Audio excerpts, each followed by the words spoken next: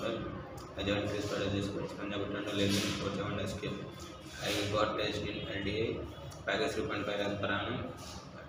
Uh, join, joining date on 22, 28 John 2022.